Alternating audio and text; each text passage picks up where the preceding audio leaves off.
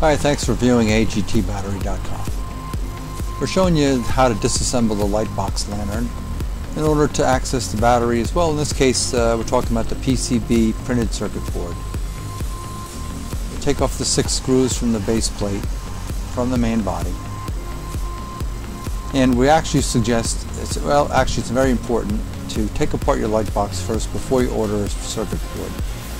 Get the circuit board out of the LiteBox, look at the part number on the circuit board because there's many different uh, LiteBox circuit boards. There's the dual filament, there's the regular 8 watt spot, there's a power failure one type that goes on when the power fails when it's attached to a wall.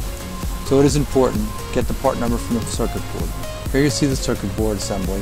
The replacement will have the leads to the battery, the leads uh, built uh, without having to splice anything, the power uh, charger port, uh, and the, you'll see the wire gets going up into the light housing.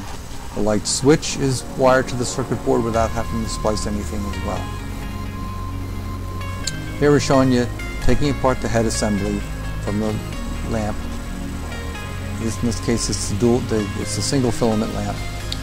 We suggest you go with, uh, if you're going to do this, replace the with the E-Spot LED upgrade kit instead of the old lamp.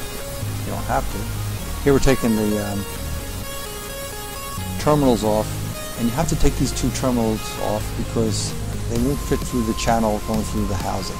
So we cut those off and then we'll snake those through the housing.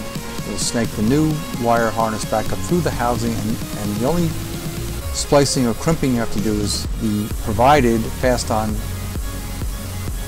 uh, tabs will be recrimped to that wire once you uh, feed it back up through the housing and replace the circuit.